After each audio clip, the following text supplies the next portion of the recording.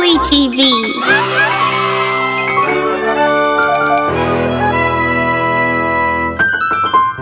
Hello, everybody. I'm Ariel from Goggly TV. The other day, I went shopping with my friend Sam. And you know what? We had an interesting conversation about an interesting animal.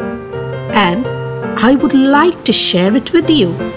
Are you ready? Sam, this zebra crossing is so long. Ariel, I have a question. Why is it called a zebra crossing? Well, Sam, that's a good question. It is because the stripes resemble the pattern of a zebra. Interesting. Yes, they are quite interesting. Would you like to know more about a zebra? Oh, yes, I would love to.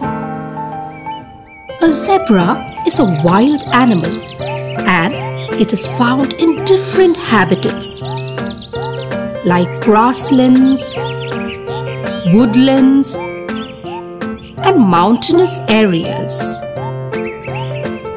Wait, wait. What's a habitat? The natural home of an animal, bird, or any living thing is called a habitat.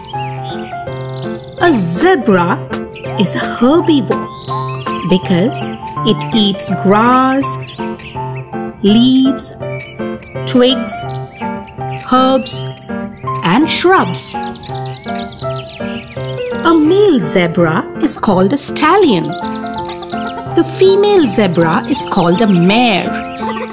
And the young one of a zebra is called a foal. What's unique about the zebras is that no two zebras have the same stripes. Yes, that's right. Each one has its own pattern. So, Sam, would you help me recollect all the information about zebras? Yes, surely. A zebra is a wild animal. They are found near grasslands, mountainous areas, and woodlands.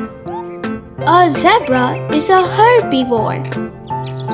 A male zebra is called a stallion, Female zebra is called a mare. and their young one a foal. Each zebra has its own unique striped pattern. That's fantastic, Sam. Thank you. So, that's all for today.